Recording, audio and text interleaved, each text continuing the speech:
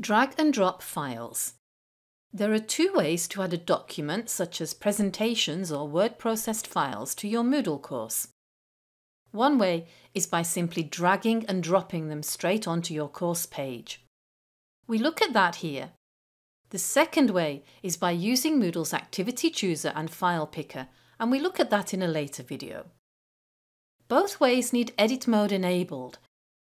Over on the right I have a presentation lecture notes to add to Moodle and I simply need to choose a section where I want it. Here, for instance, I'd like the lecture notes in the listening section.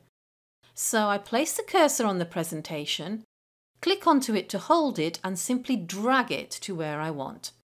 The dotted box will appear and then it will be automatically uploaded. Remember that we can move it by drag and drop. It's possible to drag and drop several files at the same time, if you click and select all of them, you can drag them all into your course page together. Also, if you put your files into a folder, you can drag the whole folder in. But first it's important that you compress or zip the folder, as you can see here. Then when you drop it, you're prompted to unzip it, and this will then display the folder with your files inside.